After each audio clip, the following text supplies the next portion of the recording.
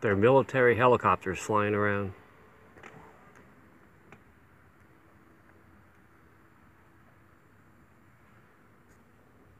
One's getting closer.